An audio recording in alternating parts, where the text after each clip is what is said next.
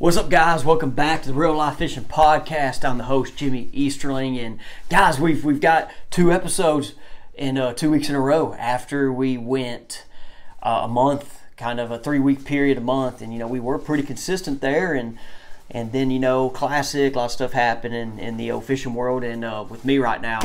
And uh, we're gonna get back on the schedule. I got a couple more lined up. I'm gonna go kind of between the the in person uh, podcast and then through the online as well. Hopefully, you guys, y'all don't hear my little one back there. Can you see him? You see him back there? James, what's up? James got his bag of baits right now. Okay, we got everybody in here. Can I have the bag? Just go to the bag. Don't make any noise. Thank you. Yep, there we go. I'll get them all out. All right.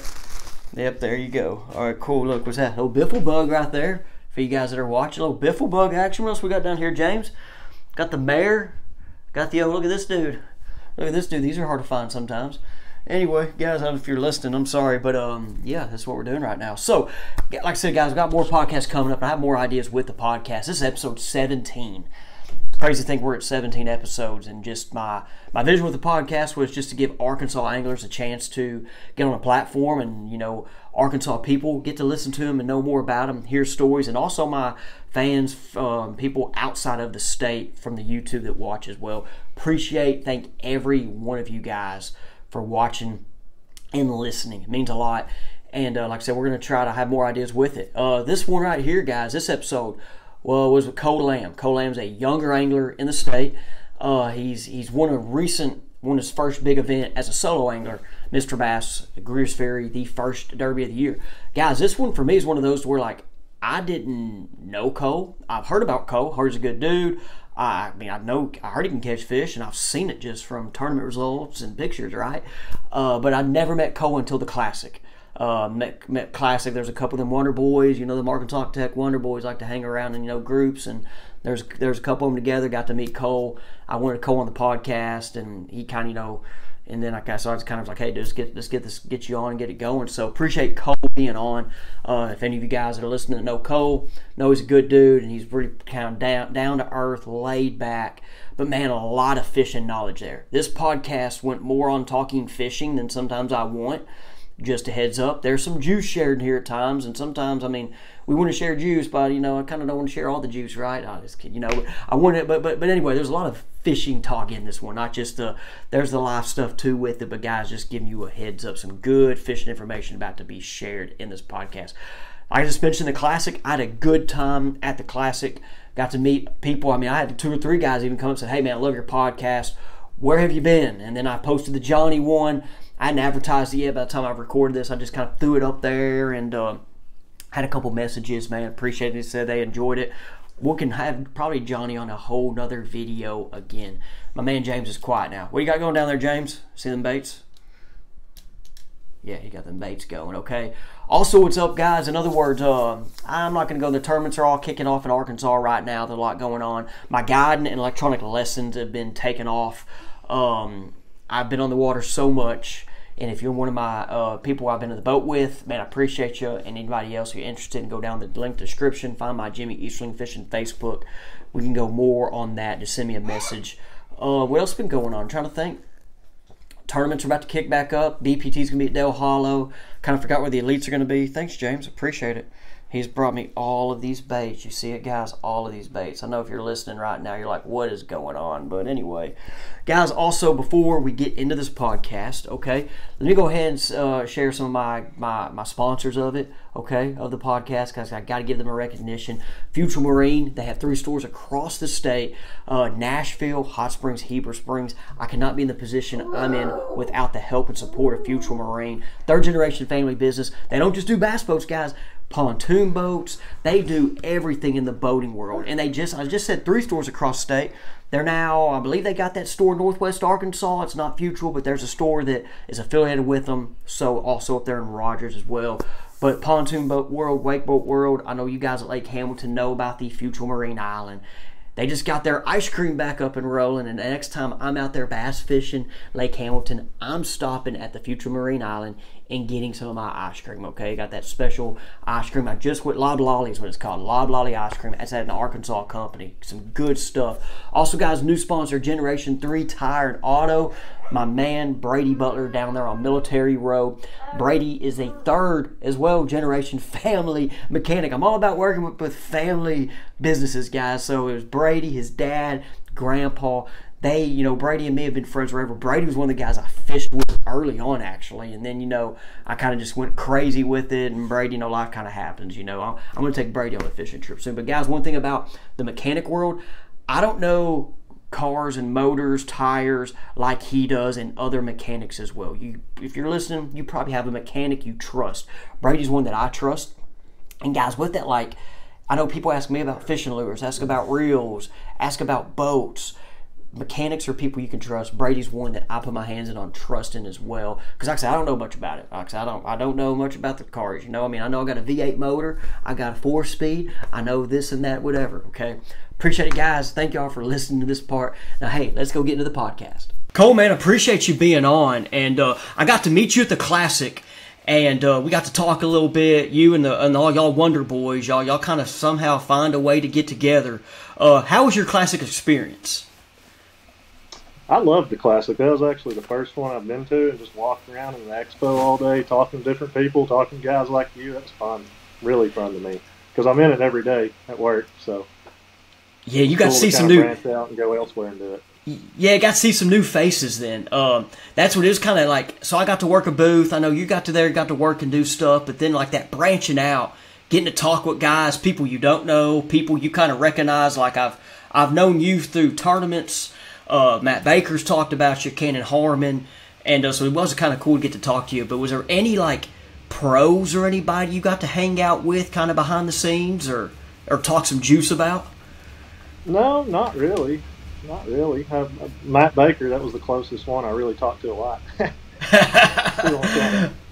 oh, Matt, yeah, Matt. I talked to Matt earlier, and he called and asked a question about something, and Matt, you know, me and him were talking, and then he was uh I guess he, you know, he was bringing up how he can't fish some tournaments because they're they're banning the guides, and I was like, yeah, it happens, man, you know. But I think on that, I was going to ask you, because like in Texas, I know Sam Rayburn's a hot lake. There's tournaments on it, you know.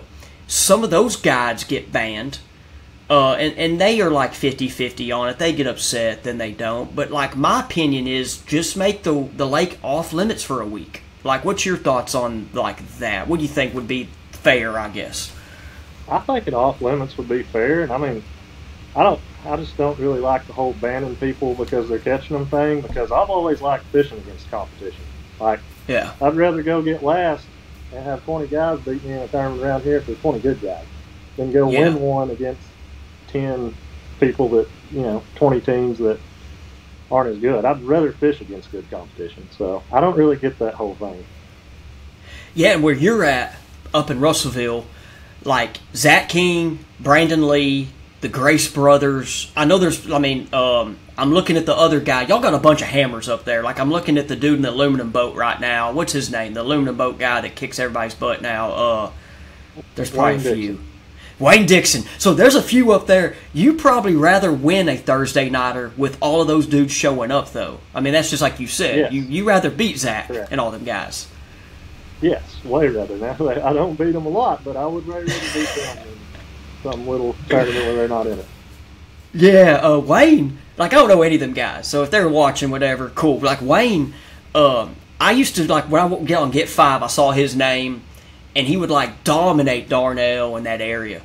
And then like I saw him fish the other stuff, and he didn't do as good. And then it's like the last five years. I mean, that dude's won at Ouachita. He's cashed checks at like almost every Lake Greers Ferry, DeGray. He's won some at Millwood. He's he's just got some natural fishing instinct. But a lot of y'all's guys up there, like you, you catch fish in clear water. It's not just a, a river thing. A lot of that helped. I grew up on Bull Shoals in Norfork, so I kind of came down here to get used to fishing mud. That was one of my reasons. So I like clear water just as much, probably.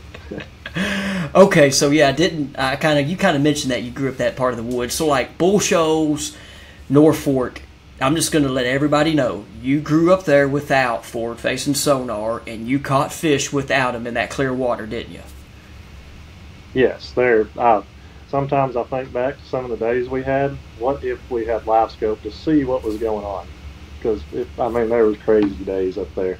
LiveScope would have been amazing to watch. Hundred percent. Like, like I know Bull Shoals is different than like I'm at DeGray in Ouachita a lot.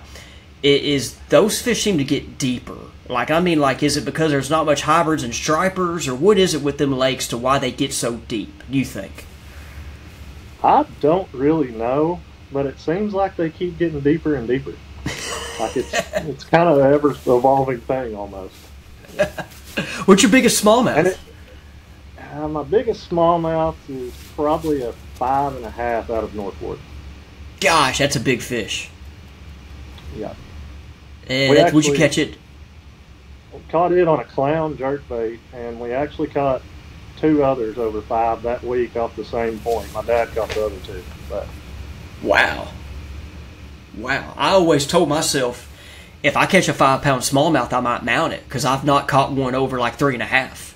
Um, which, I mean, where I fished, you know, I've not been around them, but like, that's, I mean, y'all caught three in a week. Wow. It makes me feel like I need to get up there and catch one maybe. I might catch one at four. I might not even touch a five pounder. that's the only three over five I've seen over there. So that was just kind of a rare deal. what time of year was that? Was that the spring or the winter? That was March, probably, right in the middle Okay. of March, I think. Yeah. Okay. So they probably could have been spawning. Yeah, they were close. They Yeah. Close. they were getting there. close. So, uh, the classic. This was your first classic. It was my first classic too. Were you there all three days, or did you just stay two or one day? I was there all three days. I didn't get to watch the last day weigh-in. We picked up that boat from the Phoenix booth and really couldn't find anywhere to park it, so we just went back. so Kind you of were at the but yeah. So you were at the Phoenix booth. Um, how like being a, boat guy at the classic? Like, did you get a chance to actually sell boats, or were there more showing? Because there's all these boats there: Bass Cat, Icon. And like I know I'm over here with baits, trying to teach people about the baits, whatever. How was it from like a boat perspective? I was really curious about that. I didn't know if deals were made or what. Like how was that? uh, no deals were really made. Kind of leading people into it. Like we had a guy I talked to there that actually came and looked at one last what day? I think he came Friday, last Friday or something, and looked at one. And that, Mhm. there wasn't any deals made, but there was a lot of leading into it. You know, future Yeah. stuff from it. Nice, nice. What what Phoenix? I mean, you're in the Phoenix, I'm guessing. I'm in a Bass Cat. We sell bass cat. Oh, you're in a Bass Cat. Oh, you're in a Bass Cat. That's right. Okay, so what what Bass Cat do you in? Uh, my personal boat's an Eyra, and then Uh huh. uh, I'm running a demo through the shop, which is a Caracal STS, the new one. The new one. Oh, if, if I had to pick a bass cat to get, it'd be that one. But the price, kind of, you know. It's eh. pretty nice. it's the first boat with the wider deck, isn't it? Like it has a wide deck for bass Uh, cat. The Puma STS came before it, and then Yeah. now they've got the uh, Caracal STS, and it's pretty much the same width on the deck. It's a little shorter. I kind of Mhm. like the layout in it more than any bass cat that's ever been made. I mean, there's Yeah. there's not much to complain about with it. Yes. Well, I have And that. Uh, fast, I, of course. Yeah, yeah, yeah. They're fast. I have that P two, and man, I love it. It was great for me and maybe one other person my size. Definitely fishing Millwood as much as I was on Millwood, but now being back on Ouachita, to Gray, bigger bodies of water, having people in the boat, I gotta eventually something's got to give because man, that that deck's so skinny.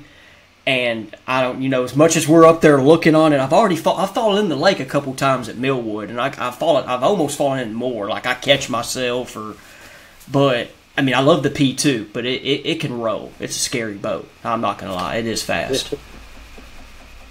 Hey, that hey that Caracal man will be up for sale in about April or May, and I promise I haven't abused it.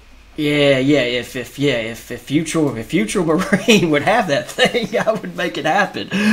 but but man, so hey, um, Greer's Ferry, Mr. Bass, you had a big first win of the season. Uh, and, and me and you talking beforehand, you said that was your third event as a pro in the Mr. Bass. Was that you think that was correct or? Yes, the year before, I think I fished the first two, and then on the third one, my brother had a wedding, so I went to that instead, and Okay, just kind of didn't fish any of the rest of the year. so with this being your third one and you won, how many other guys you think have done that? Oh, I'm sure there's a few. I don't know for sure, but I'm sure there's a few that don't. Oh, so that day, and, and I, you know, I'm just going off of what I've heard you talk on the radio show with Big Sarge, um, and just me and you talking, like, you practiced how many days again? Was it two days you got to practice or one? I practiced Thursday, and then I went back to work Friday, fished a tournament on Dardanelles Saturday, and then went to Mr. Bass Sunday.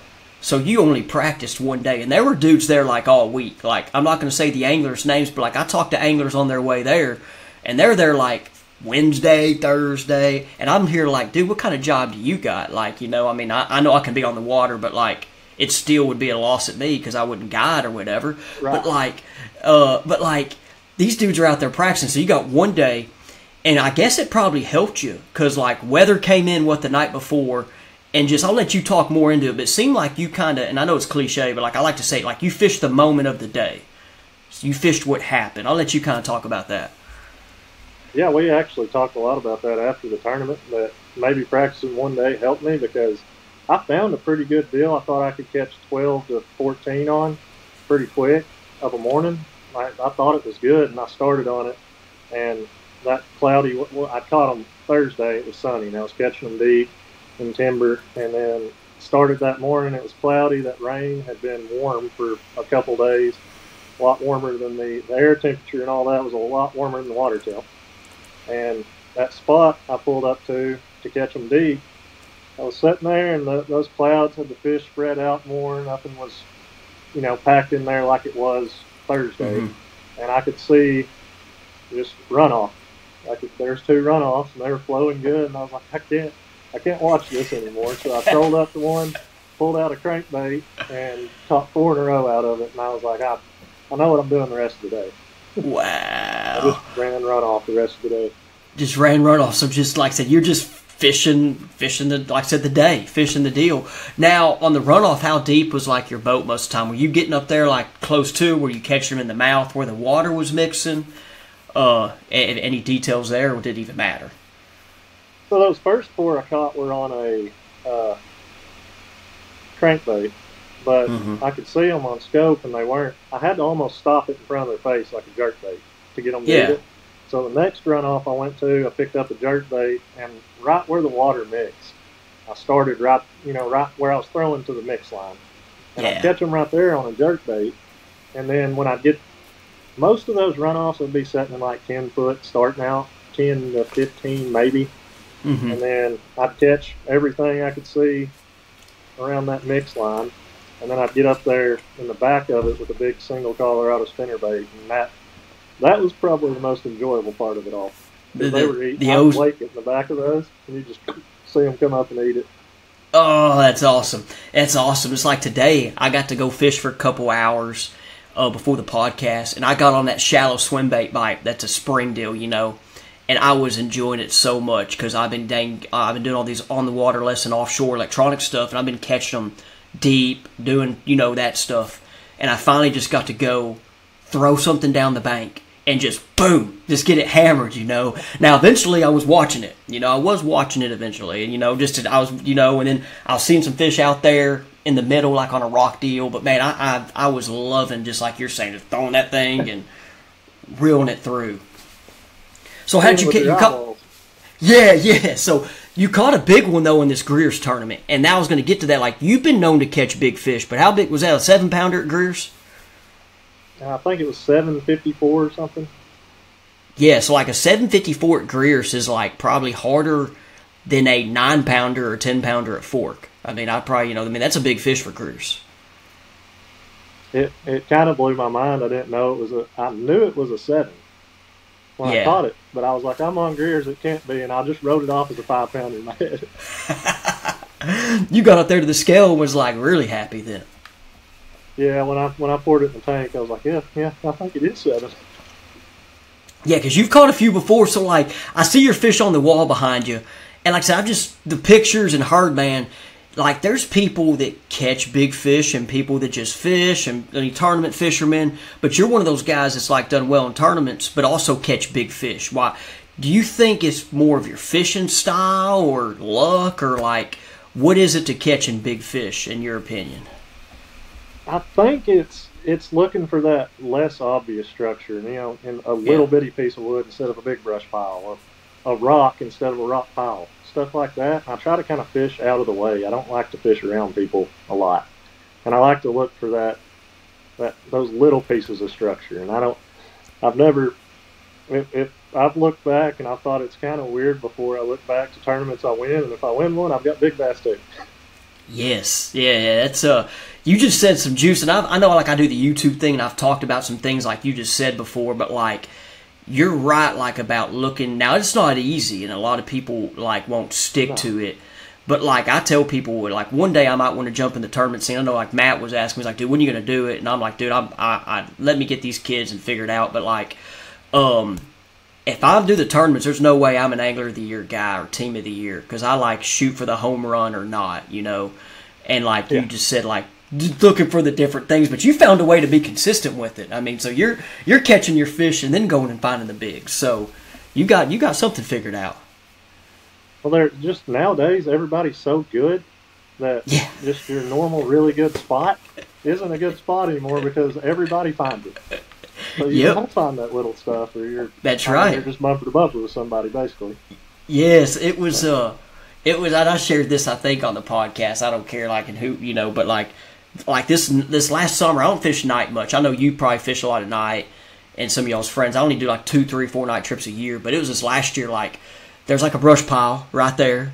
It's it has it holds bigs in it throughout the day, and uh, I pull up there at night. I don't see anything, and I turn over here, like this way, and there's like you know two or three dots hanging around something throw that spinner bait, boom, seven, and I'm like, oh yes, you know. But even before though, like, but even before LiveScope, I mean, like I always was a jig cranking guy, and I think that deep crankbait. There are times like, like you know, you thought the fish were here, you throw, but then like you always made, I always would make random cast, and would catch one, and I guess now we're seeing it with the forward facing sonar. Yeah, and a lot of times before that, you know, before forward facing sonar, that random cast was when when you caught the biggest one of the day. Yes, And yeah, I true. feel like that's happened a lot in my life while I'm on the water. Just do something random and boom, big one. What uh? So in Arkansas, I mean, I think did you? I mean, what's your biggest bass in Arkansas? Uh, I didn't. We didn't get to weigh it. Didn't have a scale or anything, but it was. We caught two six and a halfs that day. Uh, I, I mean, I had never seen one around Yeah. ten, but I knew these two were like six and a halfs, and it looked like you could put the six and a halfs inside of it. So we called it like a nine or a ten, but I I would have really liked to wait it because it may have Where- been eleven. I don't really know. Yeah, where where was that fish at? Uh, Okay, never mind. Cool, never mind. Yeah, never mind. All right, never mind. little, Cool, it was cool. a little late back where I'm from. It- Okay, no, you're cool. Have Uh, big ones. Yeah, yeah. Okay, well, so I thought I've seen you with some fish at Millwood though. Have you caught some bigs at Millwood too? Uh, I caught an eight last year. Me and Corey England went down there, and he caught. I caught an eight, and he caught a ten. That was it. I don't remember what the Oh. ounces were, but he caught a ten. That was it. Y'all went down there last year. So Millwood last year, I remember it because I was in the I was in the thick of editing. I just got back from OHIV. I was a little behind. It had that like ten day period where the moon was perfect. It was warm. The lake was level, and dude, like people were catching fish. And then like I saw y'all's like thirty pound bag, and I was just over here sick to my stomach. I was like, man, like Yeah, y'all had a, y'all had a day y'all never forget. Did y'all catch a lot that yeah. day, or just big fish? We probably only caught thirteen or fourteen fish that day. Nearly every Uh-huh. every one of them though was big, pretty much. We might have Yeah. caught one that was a three pounder, but Yeah, the three pounder. that's So- yeah, yeah. Well, so it depends, man. Sometimes that place, like this last summer, the last two summers, that place has been tough. I mean, it. Uh, Yeah, I, I feel like Millwood doesn't take boat pressure well because I've been down there to fish a lot of the old college tournaments we used to have, and your practice would be amazing. And then once boats start to get running around on that place, it was like shut off, and it always took Yeah. way way less to win. Yes, and that that that's true to it, and that's what like some of the like the locals down there. One in particular, I learned from. Like he taught me that early, and he had some sneaky stuff he would do just for tournaments, like to get his right. limit, and then maybe come back to try to get a big. Uh, but like it fished a lot better during the week than it did on the weekends. I'll say. I, I like to be out oh, there yeah. during the week. that seems to be how it's went every time for me. A lot of the times, it's really good during the week, and when boats start running around, and I don't know if it's the noise, the weight, the boat yeah. wakes that mess it up, but something definitely messes with it a little. Yeah. So, um, so the Greers Ferry was a big win for you, a single. Any other big wins, top of your head, you can think of, like like a college or team wins? I mean, I know you and Baker like seem to take a lot of people's money, but any other wins that mean a lot to you? Not really, not lately. Uh, honestly, I haven't been fishing as many tournaments as I did in the past lately. I'm trying to get more things squared away in my life, so when it comes to tournament fishing, that you know I don't have many worries. If that makes yeah. sense. Yeah. No. Are you? So uh, are you? Are you wanting to fish the? Are you wanting to like take that step up and fish the opens or Toyotas? Yes. Yes, I would. Sweet. Heck yeah, I think you do good at it too. So, good stuff. Would it be but Toyotas or just jump the gun? Yeah. yeah, that opens is jump the gun and be be broke. So I want to get my life kind of going how I want it. Get comfortable yeah. where I can go fish those and not worry if yeah. my house is I'm gonna get kicked out of my house. yes, and and there's so many stories of those dudes that go in debt by fishing that stuff. Like it's true. Like I mean, and it's uh, you hear even some of the guys that have made it, and like they're the few dudes that do. But like, there's guys that like will go bankrupt, and I'm over here oh, like, oh, yeah. man, no, no. I mean, you you're in the you're in the world with Horizon Trike. Like, how many of those guys? You know, I mean, yeah. So you know about it. It's it's a job. it, it is. That's from what I hear, and you're hearing a little more of that nowadays. And people are being a little more outspoken about it, but uh, yeah, so it's uh, throw everything away and jump the gun on it. I want to make sure I'm settled good and have it all yeah. figured out, kind of. Yeah, no, that, that's the way to do it. I think for sure. Now, uh, you've been fishing for a long time. Uh, you said your dad was a was was a part of it. I guess you so your dad was a fisherman. Let's just kind of talk about that. My grandpa. So I grew up on my grandpa had a campground on White River. So okay. I was probably taking people trout fishing before I was. I was probably still eating baby food, running up the river taking people to catch trout. But so that's kind of where my fishing started with my grandpa, and then I got to where I figured out I could catch bluegill on the river instead of uh, trout. Then I got to figuring out there was big bass in the river too. So I got to fishing for those, and then I figured out my dad had an old Ranger that one of his friends had bar- been borrowing for I don't know 15 years. I didn't even know about it, and I was like, we got to get that back. So Dad, after we got that boat back, Dad took me to the to Norfork a lot. I mean, we'd go every chance we could in the summer for about a year or two, and then he just kind of let me fly on my own. Awesome. So, how old were you when he just kind of let you go? I wasn't very old. I wouldn't say I started fishing a lot on the lake for bass when I was probably 16. Yeah. But I didn't really start fishing tournaments till I was more around 18, 17 and a half, 18, somewhere out in there. And so you say tournaments like just the adult tournaments, like the Thursday nighters, or like the high was was the high school trail something that started then? High school tournaments. Yeah. Okay, high school. So how'd the high school stuff go for you? Like, was it enjoyable? I guess I guess you did pretty good in up in Arkansas Tech, but how'd it go? That's what hooked me on fishing for the rest of my life. We won the first two high school tournaments we fished, first two tournaments we ever fished, and then we won a local tournament me and Kristen Weaver and I, and I thought this this is easy. I was wrong. I was wrong, but that got yeah, me hooked quick. Yeah, so it's like it's like you walked in that casino and hit that blackjack table and was hooked. yeah, that's all it was. It was just luck. so but I was hooked. Yeah, so that uh, that's why I asked about the high school stuff. So I know, like earlier, you said you're like early, you're like mid twenties. You know, I'm like I'm like early thirties. The high school fishing was not a thing in Arkansas um, and I'm gonna. Pa- can y'all hear? Can you hear my kid right now? He's crying at the door. I don't know if y'all hear him. Can you hear him? It's fine. Okay. Okay. Cool. Yeah. So so when I was uh high school fishing wasn't a thing. yet. It was in Louisiana, Texas. So, but we had junior bass. Okay, junior bass, you'd show up, jump in the boat with an adult, or you had a boat captain. Or what we eventually did is I had a buddy with a boat, and we just show up and drive them, like no adults at all. So the first I'd show up, Yeah. jump in a dude's boat. There'd be two of us in the boat. We each have a five fish limit.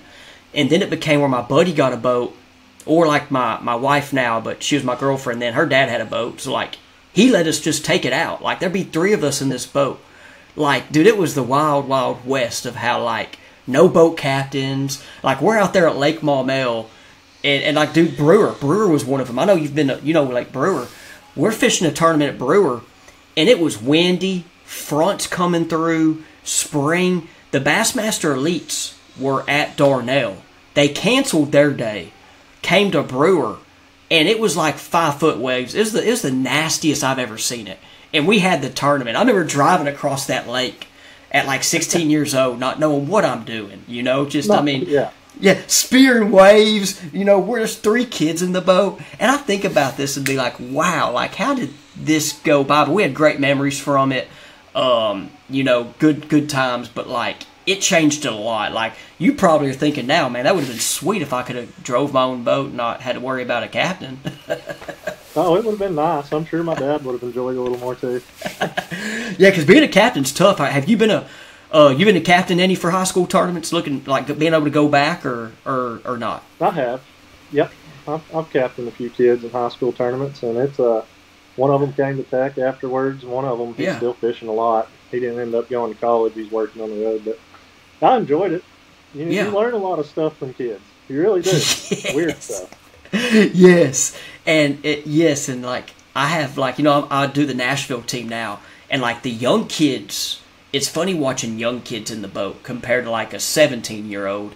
Uh, but them young kids, man, just seem like, and I taught like eighth graders, like ninth graders, so I know, but like they just speak without thinking. Like we might do that as adults, but like they really speak without thinking and I just sit back and laugh, you know. And then to watch them hit rods and kick rods off the boat, it's yeah, it's you never know what you're gonna get.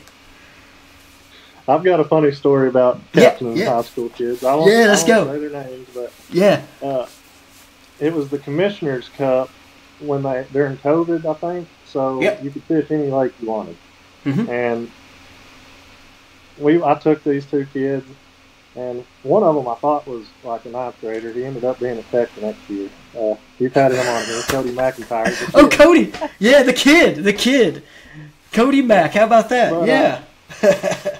but they're throwing and we're fishing bridge pilings and they're throwing little swim baits and they're they're catching them good all morning and then it gets like noon noon to three when like the bridge pilings you know shade line gets right and they should start catching the bigger ones and they start just locking them up but couldn't i mean they get three cranks and they come off and i was like what's going on and cody mack picked up on it quick and he looked and just casting throughout the day, hitting the bridge pile, and his hook had been in to the bait.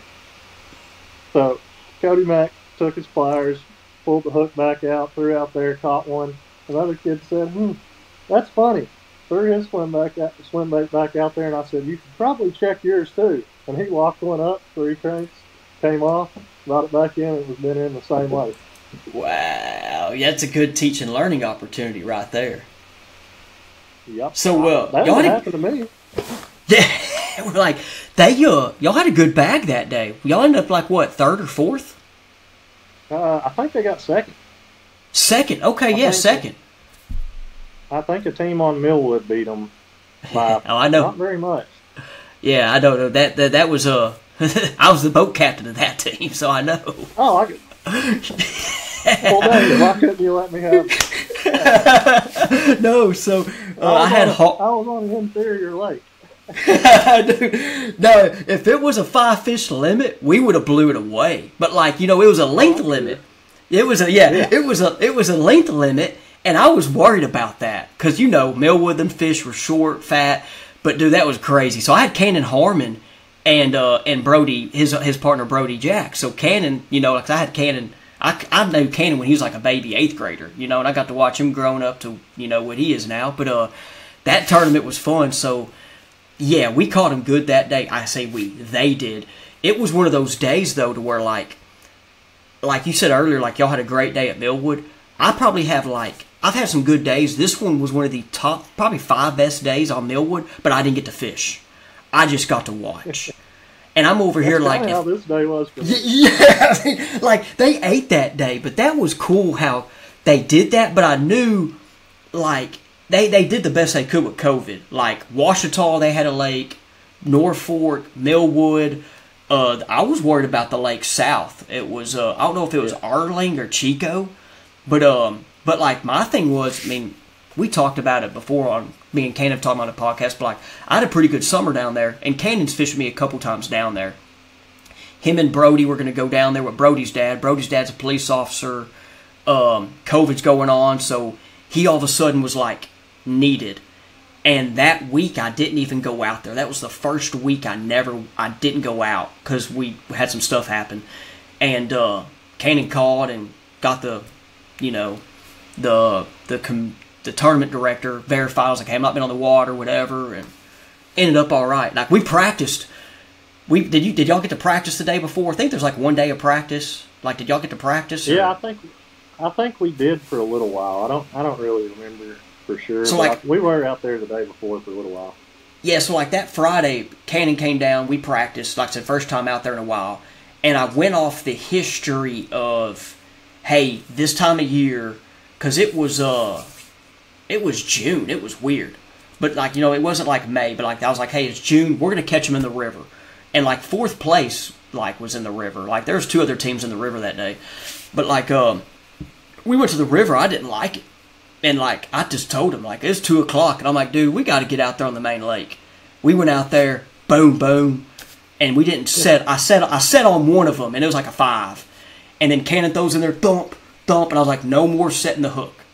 And uh, but dude, the next day of the tournament, they moved. Like that overcast came in, a front kind of came in. I know we're like four hours away, but like that overcast, you know, it was just the weather. But those fish literally like moved from here to like down there.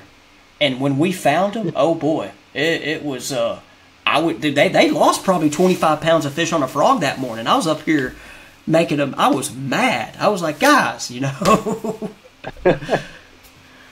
like like your guys are with the with the hook. I mean, mine were just missing them on a frog. I don't know what the deal was, but yeah, put that out there, Cannon. So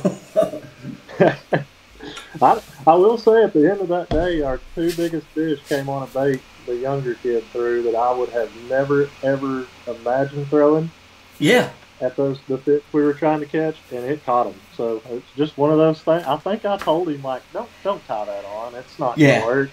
And then it worked.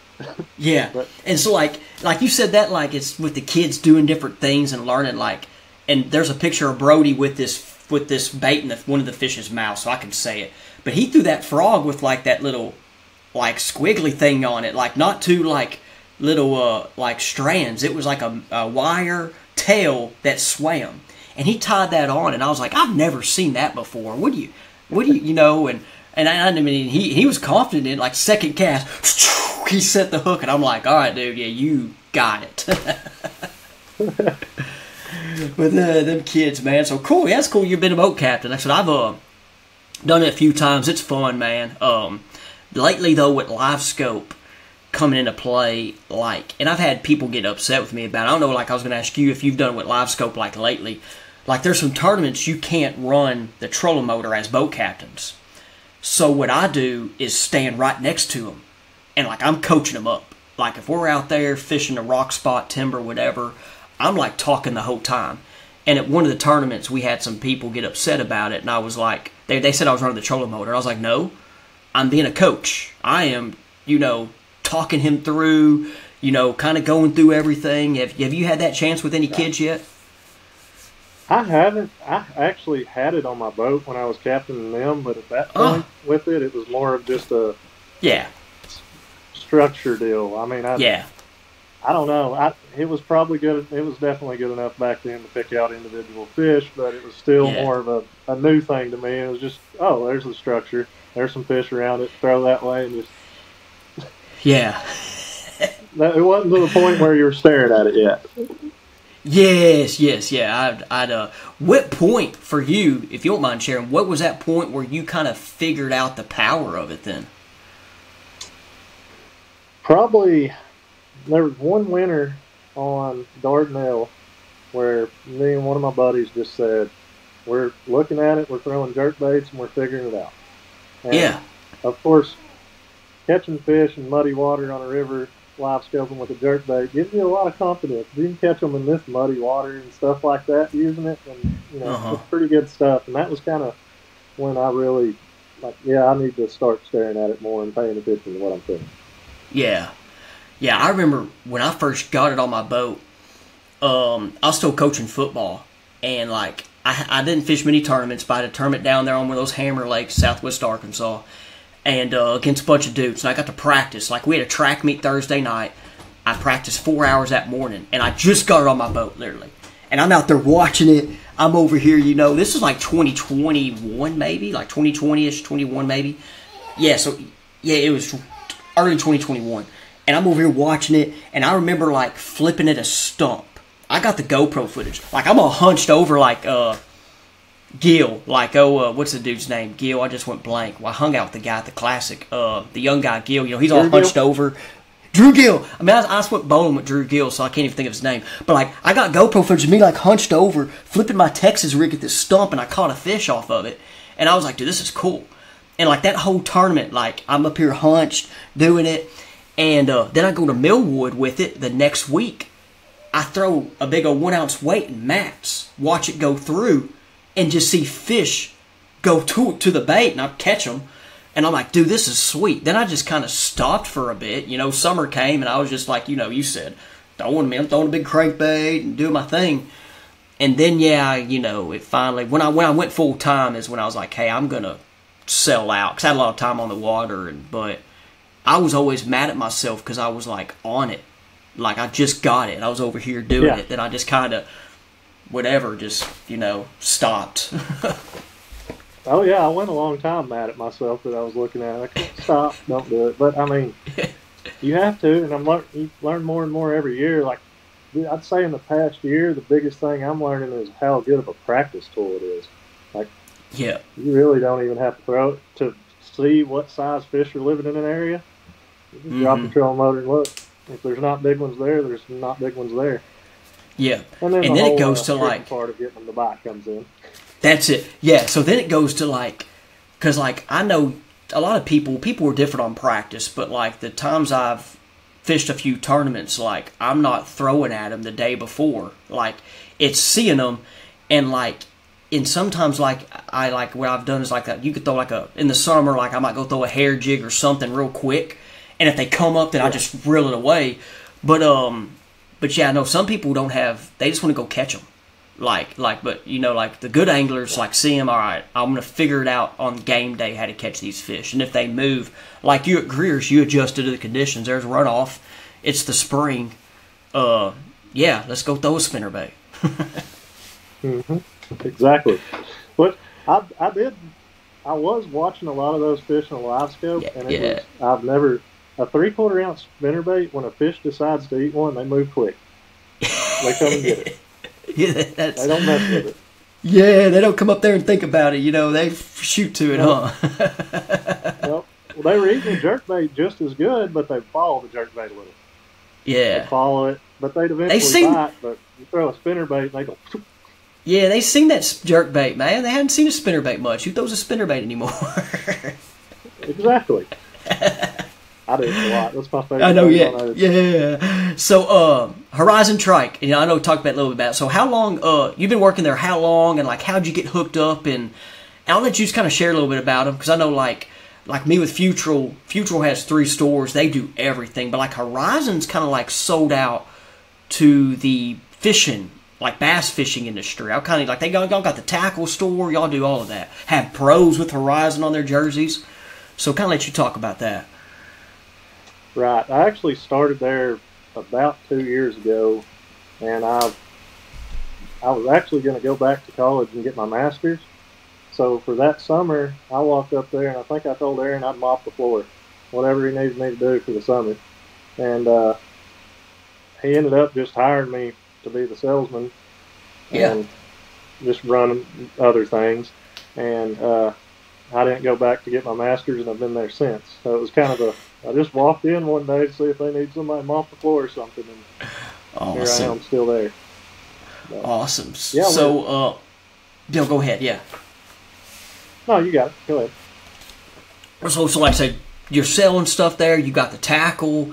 Um, y'all don't just have like y'all have multiple brand bass boats. I mean, I th- I just saw y'all picked up Falcon the other day. Are y'all selling Falcons now? Like, but it seems like y'all are like Yes. Bass fishing heavy. Yes, we uh, we deal Bass Cat, Phoenix, uh, Blazer, Falcon, and Xpress. So Xpress quite a few, also. quite a few in one dealership.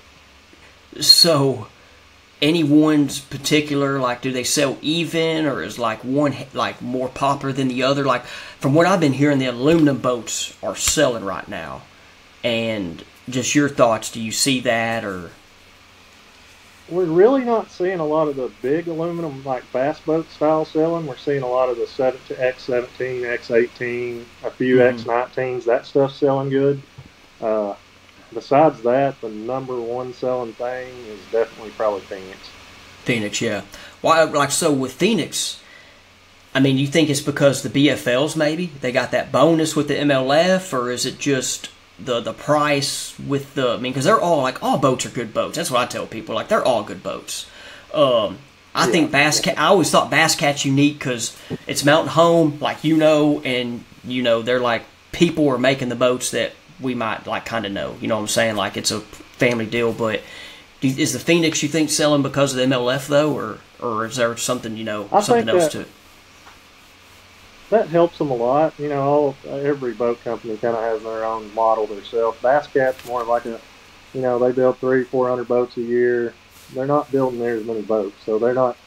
Phoenix is kind of more geared towards selling a lot of boats, but they're Mhm. good. There's nothing wrong with Phoenix. They're plenty good on quality and everything. The ride's amazing, but that's more of their sales route. They're they're trying to sell a lot of boats, and Yeah. that BFL stuff, Toyota stuff, that sold a lot of boats for them. Yeah, I was about to say because like I see those guys that get that bonus in the Toyota Series and that, and I'm like, dude, that's huge. Sometimes it's as much as the Oh, yeah. tournament. And so Yeah, now me and more. Yeah, yeah. Now, me and you know winning a BFL is not easy. Um, and so, like, there's that part. But if you're one of those guys that can, or anybody can, but, like, you know what I'm saying? Like, it's, in your mind, it's like, hey, I need to have, you know, to get that extra contingency, I guess. It makes sense. It definitely makes a lot Yeah. of sense. Yeah, so electronics, you, do you, yeah, no, they are. Yeah, like I've, I've, you know, I fished in them. Uh, I fished. We're doing with my electronic le- lessons lately. It's crazy. I've been in so many boats. I know I told you, but like, I, I uh, the other day I finally got to use the Ultrex, the new Quest, and I loved it. It's my first one with that. But I've been in Icons, Bass Cat, Ranger, Falcon, everything. I've not been in a Blazer yet. Um, but I've been in a lot of boats. But the other day, I finally got to use that new Quest, and I, I was impressed. I don't know if you've fished in it. You mean you might have it on your boat for all I know. Uh, but like it was pretty sweet. Like I was fired up about it. Now that doesn't mean I'm getting one because I see the price and I'm like, yeah, my Fortrex is still good. Ain't nothing wrong with the Fortrex. yeah, it's caught a lot of fish. That that Fortrex pedal when you're live scoping, that's as steady as it gets. Yes, I'm, I'm saying. So what, what do you got on your boat? Trolling motorized. I've got the Quest right now. Oh, you do? Okay, so you know that thing's sweet now. I mean, it uh, I I it was it's right now. I mean, my favorite I've been in lately. I've I've act, one thing I've noticed the most about it, and well, there's been all this argument, you know, people throwing a fit about if live scope is scaring the fish, the noise of the live scope. Well, since I've had the Quest on my boat, it seems like I've caught so many that folded to the trolling motor or Mm. catching fish. Like out here, you used to, I feel like you had to throw it one when it was 80, 90 foot out there with two. Now, I've caught a lot since, like right under the trolling motor, caught a ton at Greer's, like on the trolling Yeah. motor. And I noticed on, I think that MLF at Toledo Bend, a bunch of the guys with the new brushless trolling motors were talking about how I've noticed that a lot. I think it was more your trolling motor and stuff scaring fish the whole time than it ever was live scope. Yeah, so I agree with that. Like I tell people all the time, like I so I hear on these podcasts of like the guys from the Tennessee River, um, Guntersville, that whole realm, how they're like, you drop the live scope on that ledge, they run away. And I'm like, dude, that's a bunch of crap. Because down there, like southwest Arkansas, those fish get pinged more and more, and they don't do it. But like, I'd had fish come under the boat. This happened to me on the lake to where I caught fish, brought them to me, and I just quit touching the boat. They stayed under me, and they followed my boat with the wind. And like I was in 15 Yeah. foot. And I'm like, I'm like, these fish are just using my boat as a shade line. But with, with what you said, I've been noticing it too. Jacob Wheeler, Cannell, all the dudes winning right now have that quest. And after the other day, I was in it. That's what I told somebody. I was like, hey, this is the quietest one I've been in yet. And I know we're, we're probably about to sell a trolling motor to somebody listening, um, and we're not trying They to. need one. But I'm yeah, but, but so but that thing, man, like I, I noticed how quiet it was, and you brought it up. So yeah, that's pretty cool that you you've even you've seen because you've I used it one time. You've used it for this whole season, so you've seen the difference. Right. It, it's it was it's kind of funny to me it, all the argument about live scope and then to see that, see what's happening. I'm like, yeah, I think it might have been the trolling motor the whole time. And uh, yeah, I agree. Like I said, I, I I was I was thinking people were talking about it as like a like a stirraway, you know, like just uh, like they're Right. trying to just let people think that. But I really think they didn't know.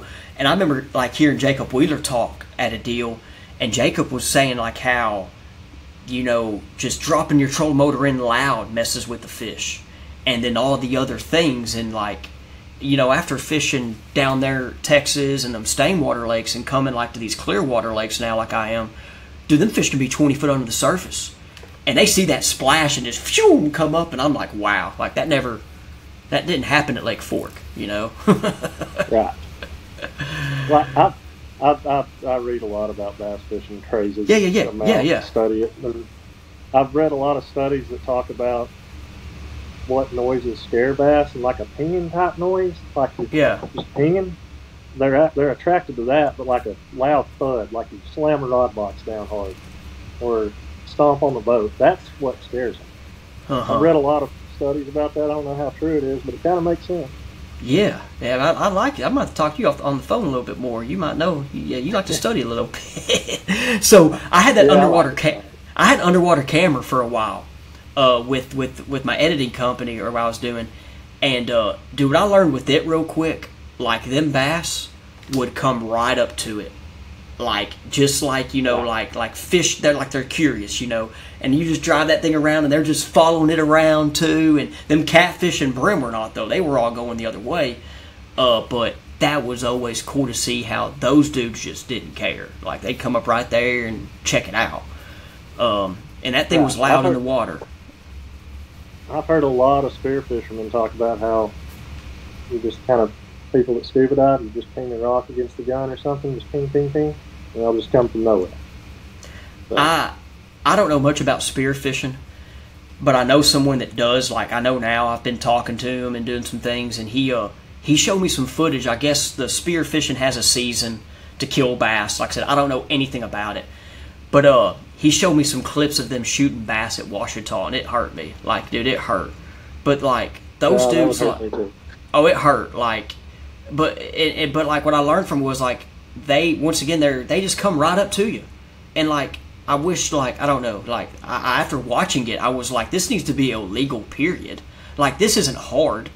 Like those dudes come right up there just like you know it, what it, it just a deer doesn't come up to you or a turkey and a bass doesn't Nope. jump in my boat. So i didn't like it. I even i was i told the dude i was like dude this is hurting me man. Like th- i mean I mean, that, that poor fish. I mean, at least I can catch it and fillet it, you know, but you're going to just shoot it coming at you? Just shoot it. No, Yeah. I've never done it. I probably never will. yeah, I won't either. That's why I, I've watched that. Oh, man, it bothered. But, uh, but man, dude, good deal. Like I said, dude, this is 50 minutes just flew by. So I know we kind of talked and we made this happen in one cut. But hey, I appreciate you being on. Any, like, thanks or anything you want to say before you get off? Oh, just thanks to Aaron of Horizon Trike and Marine. He lets me fish a lot. And thanks for you having me on the podcast. I enjoyed it. Yeah, I appreciate it, man. All right, guys, thank y'all for watching. If any questions, I always should I'll do this at the end, but I always should do this at the beginning. If you have any questions, throw it down there in the comments. Uh, and man, appreciate you, Cole. And guys, we'll see you on the next episode.